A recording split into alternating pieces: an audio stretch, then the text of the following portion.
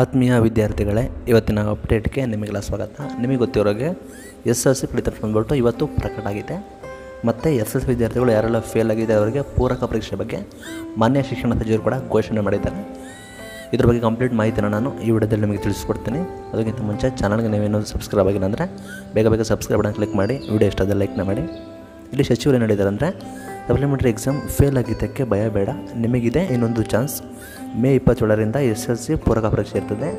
ಯಾವ ವಿದ್ಯಾರ್ಥಿಗಳು ಉತ್ತೀರ್ಣರಾಗಿದ್ದೀರಾ ಅಥವಾ ಫೇಲ್ ಆಗಿದ್ದೀರಾ, ಅನುತ್ತೀರ್ಣರಾಗಿದ್ದೀರಾ ಅಥವಾ ಫೇಲ್ ಆಗಿದ್ದೀರಾ, ಅವರು ತಮ್ಮ ತಮ್ಮ ಕ್ಲಾ ಕ್ಲಾಸ್, ಶಾಲೆಗಳಿಗೆ ಹೋಗಿ ಅಲ್ಲಿ ನೀವು ಮತ್ತೆ ಎಕ್ಸಾಮ್ನ ಕಟ್ಟಬೇಕಾಗುತ್ತೆ. ಮತ್ತೆ ಅವರಿಗೆ ಪೂರಕ ಪರೀಕ್ಷೆ ಕೂಡ ಇರ್ತದೆ. ಅದು ಮೇ ಇಪ್ಪತ್ತೇಳರಿಂದ ನಿಮಗೆ ಎಸ್ ಎಲ್ ಸಿ ಪೂರಕ ಪರೀಕ್ಷೆ ನಡೆಯಲಾಗುವುದು ಅಂತ ತಿಳಿಸಿದ್ದಾರೆ. ಈ ವರ್ಷ ಶೇಕಡ ಏಯ್ಟಿ ಫೈವ್ ಪರ್ಸೆಂಟ್ ವಿದ್ಯಾರ್ಥಿಗಳು ಪಾಸಾಗಿದ್ದಾರೆ. ಪರೀಕ್ಷೆ ಬರೆದ ಎಂಟು ಪಾಯಿಂಟ್ ಐವತ್ತ್ಮೂರು ಲಕ್ಷ ವಿದ್ಯಾರ್ಥಿಗಳ ಪೈಕಿ ಏಳು ಪಾಯಿಂಟ್ ಮೂವತ್ತೆಂಟು ಲಕ್ಷ ವಿದ್ಯಾರ್ಥಿಗಳು ಪಾಸಾಗಿದ್ದಾರೆ ಅಂತೇಳಿ ತಿಳಿಸಿದ್ದಾರೆ. ನೂರ ನಲವತ್ತೈದು ವಿದ್ಯಾರ್ಥಿಗಳು ಔಟ್ ಆಫ್ ಫೋರ್ಡ್ ಕೂಡ ಪಡ್ಕೊಂಡಿರ್ತಾರೆ. ನಂತರ ಈಗ ಯಾವೆಲ್ಲ ವಿದ್ಯಾರ್ಥಿಗಳು ಫೇಲ್ ಆಗಿದ್ದೀರಾ ಆ ವಿದ್ಯಾರ್ಥಿಗಳಿಗೆ ಮೇ ಇಪ್ಪತ್ತೇಳರಿಂದ ಜೂನ್ ನಾಲ್ಕರವರೆಗೆ ಪೂರಕ ಪರೀಕ್ಷೆ ಸಪ್ಲಿಮೆಂಟ್ರಿ ಎಕ್ಸಾಮನ್ನು ಮೇ ಇಪ್ಪತ್ತೇಳರಿಂದ ಜೂನ್ ನಾಲ್ಕರವರೆಗೆ ನಾವು ಮಾಡ್ತೀವಿ ಅಂತೇಳಿ ಮಾಹಿತಿಯನ್ನು ಪಡ್ಕೊಂಡಿರ್ತಾರೆ.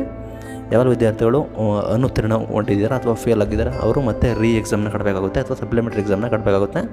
ನಿಮ್ಮ ನಮ್ಮ ಶಾಲೆಗೆ ಹೋಗಿ ಸಪ್ಲಿಮೆಂಟ್ರಿ ಎಕ್ಸಾಮ್ನ ಕಟ್ಟಬೇಕಾಗುತ್ತೆ ನಂತರ ನಮಗೆ ಸಪ್ಲಿಮೆಂಟ್ರಿ ಎಕ್ಸಾಮ್ ರಿಸಲ್ಟ್ ಬಂದುಬಿಟ್ಟು ಪೂರಕ ಪರೀಕ್ಷೆ ಫಲಿತಾಂಶ ಬಂದುಬಿಟ್ಟು ಜೂನ್ ಮೂರನೇ ವಾರದಲ್ಲಿ ನಾವು ಪ್ರಕಟ ಮಾಡ್ತೀವಿ ಅಂತೇಳಿ ತಿಳಿಸಿದ್ದಾರೆ. ಮೇ ಇಪ್ಪತ್ತೇಳರಿಂದ ಜೂನ್ ನಾಲ್ಕರವರೆಗೆ ಎಸ್ ಎಲ್ ಸಿ ಪೂರಕ ಪರೀಕ್ಷೆ ಇರ್ತದೆ. ನಂತರ ಜೂನ್ ಮೂರನೇ ವಾರದಲ್ಲಿ ಪೂರ ಎಸ್ ಎಲ್ ಸಿ ಪೂರಕ ಪರೀಕ್ಷೆ ಫಲಿತಾಂಶ ಬಂದ್ಬಿಟ್ಟು ನಾವು ಪ್ರಕಟ ಮಾಡ್ತೀವಿ ಅಂತೇಳಿ ಮಾನ್ಯ ಶಿಕ್ಷಣ ಸಚಿವರು ಕೂಡ ತಿಳಿಸಿರುತ್ತಾರೆ. ಇದು ಇವತ್ತಿನ ವಿಡಿಯೋ. Thank you for